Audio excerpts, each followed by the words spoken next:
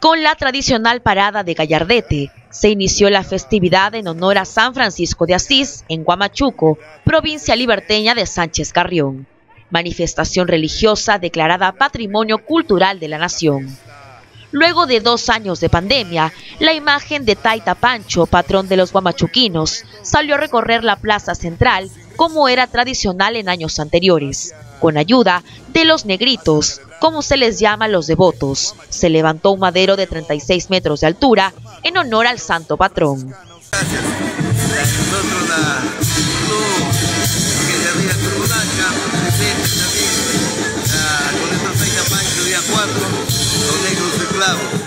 En cuanto a los años, nuestra fe siempre se hace presente para estar con él todo. Es muy devoto.